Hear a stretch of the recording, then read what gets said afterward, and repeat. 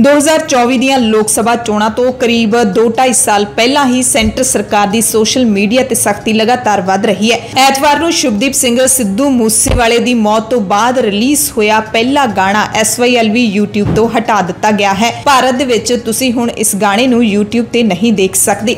ਉਸ ਤੋਂ ਬਾਅਦ ਧੜਾਧੜ ਦੋ ਹੋਰ ਟਵਿੱਟਰ ਅਕਾਊਂਟ ਵੀ ਬੰਦ ਕਰ ਦਿੱਤੇ ਗਏ ਨੇ। ਕਿਸਾਨੀ ਸੰਘਰਸ਼ ਦੇ ਵਿੱਚ ਮਕਬੂਲ ਹੋਇਆ ਅਤੇ ਕਿਸਾਨਾਂ ਸਮੇਤ ਪੰਜਾਬ ਦੇ ਹੱਕਾਂ ਦੀ ਗੱਲ ਕਰਨ ਵਾਲਾ ਨੌਜਵਾਨਾਂ ਦੇ ਵੱਲੋਂ ਬਣਾਇਆ ਗਿਆ social media platform tractor to Twitter we Twitter ਦੇ ਉੱਤੇ ਬੈਨ ਕਰ ਦਿੱਤਾ ਗਿਆ ਤੇ ਹੁਣ ਕਿਸਾਨਾਂ ਦੇ ਸੰਘਰਸ਼ ਨੂੰ ਸਮਰਪਿਤ ਸੰਯੁਕਤ ਕਿਸਾਨ ਮੋਰਚੇ ਦਾ ਕਿਸਾਨ ਏਕਤਾ ਮੋਰਚਾ ਟਵਿੱਟਰ ਅਕਾਊਂਟ ਵੀ ਬੰਦ ਕਰ ਦਿੱਤਾ ਗਿਆ ਕਿਸਾਨ ਅੰਦੋਲਨ ਦੌਰਾਨ ਟਵਿੱਟਰ ਅਕਾਊਂਟ ਕਿਸਾਨ ਏਕਤਾ ਮੋਰਚਾ ਸ਼ੁਰੂ ਕੀਤਾ ਗਿਆ ਸੀ, ਪਰ ਹੁਣ ਕੇਂਦਰ ਸਰਕਾਰ ਨੇ ਇਸ ਨੂੰ ਵੀ ਬੈਨ ਕਰ ਦਿੱਤਾ ਹੈ। ਕੇਂਦਰ ਸਰਕਾਰ ਦੀ ਸ਼ਿਕਾਇਤ ਦੇ ਉੱਤੇ ਟਵਿੱਟਰ ਨੇ ਇੱਕ ਕਾਰਵਾਈ ਕੀਤੀ ਹੈ। ਟਰੈਕਟਰ ਟੂ ਟਵਿੱਟਰ ਨੂੰ ਕਿਉਂ ਬੈਨ ਕੀਤਾ ਗਿਆ, ਇਸ ਬਾਰੇ ਤਾਂ ਕੋਈ ਜਾਣਕਾਰੀ ਸਾਹਮਣੇ ਨਹੀਂ ਆਈ, ਪਰ ਸੰਯੁਕਤ ਕਿਸਾਨ ਮੋਰਚੇ ਦੇ ਨੌਜਵਾਨਾਂ ਨੇ ਜਾਣਕਾਰੀ ਸਾਂਝੀ ਕੀਤੀ ਹੈ ਕਿ ਕਿਸਾਨ ਏਕਤਾ ਮੋਰਚਾ ਨੂੰ ਬੈਨ ਲਾਉਣ ਦੇ ਪਿੱਛੇ ਟਵਿੱਟਰ ਨੇ ਕਾਰਨ ਦੱਸਿਆ ਹੈ। ਲਿਖਿਆ ਹੈ ਕਿ ਭਾਰਤ ਦੇ ਇਨਫੋਰਮੇਸ਼ਨ ਟੈਕਨੋਲੋਜੀ ਐਕਟ 2000 ਦੇ ਨਿਯਮਾਂ ਦੀ ਉਲੰਘਣਾ ਕਰਨ ਕਰਕੇ ਭਾਰਤ ਵਿੱਚ ਇਸ ਅਕਾਊਂਟ ਨੂੰ ਬੰਦ ਕੀਤਾ ਜਾਂਦਾ ਹੈ। ਟਵਿੱਟਰ ਨੇ ਕਿਹਾ ਹੈ ਕਿ ਤੁਹਾਡੇ ਵੱਲੋਂ ਕੀਤੀਆਂ ਜਾ ਰਹੀਆਂ ਕਾਰਵਾਈਆਂ ਸਾਡੇ ਨਿਯਮਾਂ ਦੇ ਖਿਲਾਫ ਨੇ।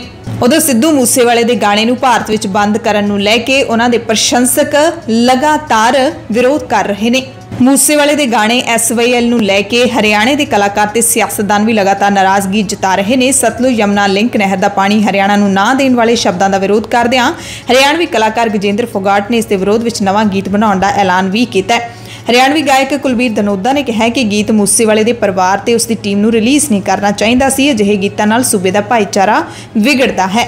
ਕਹਿੰਦੇ, ਮੈਂ ਸਿੱਧੂ ਮੂਸੇਵਾਲੇ ਦਾ ਫੈਨ ਹਾਂ, ਪਰ ਇਸ ਗੀਤ ਨਾਲ ਸਹਿਮਤ ਨਹੀਂ ਹਾਂ। ਹਾਲਾਂਕਿ ਹਰਿਆਣਾ ਦੇ ਕੌਮਾਂਤਰੀ ਮੁੱਕੇਬਾਜ਼ ਵਿਜੇਂਦਰ ਸਿੰਘ ਨੇ ਸਿੱਧੂ ਮੂਸੇਵਾਲੇ ਦੇ ਗਾਣੇ ਦੀ ਡਟ ਕੇ ਹਮਾਇਤ ਕੀਤੀ ਸੀ। ਉਹਨਾਂ ਕਿਹਾ ਕਿ ਮੂਸੇਵਾਲੇ ਦੇ ਗਾਣੇ ਦੇ ਅਰਥਾਂ ਨੂੰ ਗਲਤ ਤਰੀਕੇ ਦੇ ਨਾਲ ਲਿਆ ਜਾ ਰਿਹਾ ਹੈ। 23 ਜੂਨ ਦੀ ਸ਼ਾਮ ਨੂੰ ਸੰਗਰੂਰ ਦੀਆਂ ਜ਼ਿਮਨੀ ਵੋਟਾਂ ਪੈਣ ਤੋਂ ਬਾਅਦ ਇਹ ਗਾਣਾ ਰਿਲੀਜ਼ ਕੀਤਾ ਗਿਆ ਸੀ, ਜਿਸ ਨੂੰ ਦੁਨੀਆ ਭਰ ਦੇ ਵਿੱਚ ਕਰੋੜਾਂ ਲੋਕਾਂ ਨੇ ਦੇਖ ਲਿਆ। Bureau report, the Khalsa TV.